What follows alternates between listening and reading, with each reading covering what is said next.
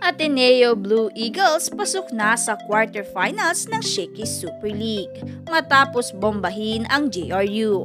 Ivana Sulit nagpakitang gila sa laban na ito ng Ateneo.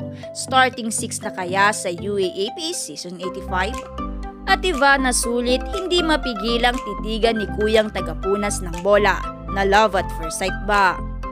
Sugatan ang JRU Lady Bombers matapos padapain ng Ateneo in just 3 sets sa mga score na 25-20, 25-16 at 25-10.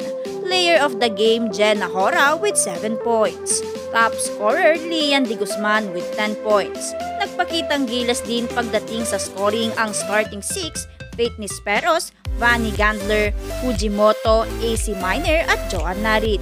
Hindi rin nagpaiwan sa scoring ang second stringers.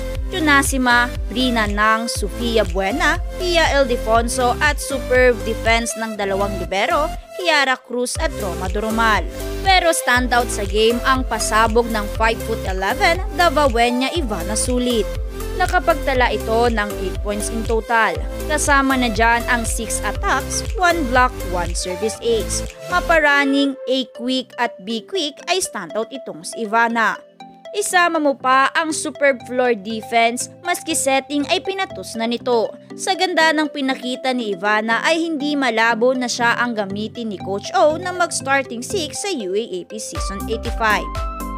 Sa game na ito ay you can never go wrong kay Ivana. Kaya sana Coach O, more playing time pa sana for Ivana please.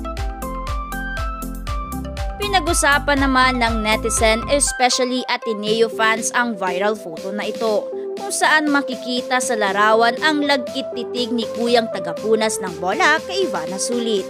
Sa bagay na ito ay hindi mo masisisi si Kuya kung mapatitig man siya, ang ganda naman talaga kasi ni Ivana. Totoo kaya ang love at first sight? Hmm, dagdag pa ng ibang fans na mag-face mask reveal si Kuya.